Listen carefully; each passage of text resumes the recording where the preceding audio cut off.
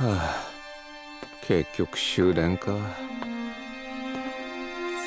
こんな生活続けてたらそのうち倒れるかもな。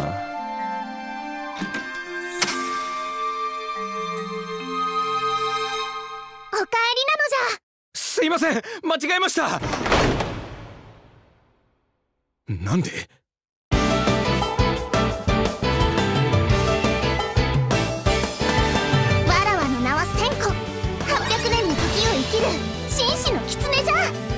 近所の子か？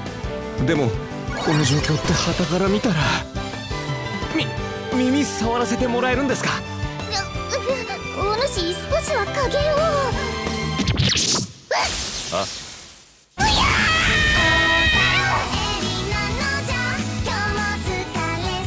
誰かと一緒にご飯を食べて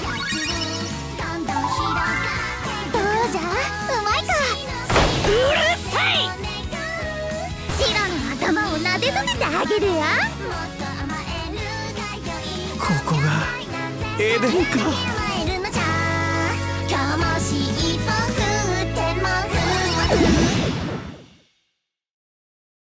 テレビアニメ「世話焼き狐の千子さん」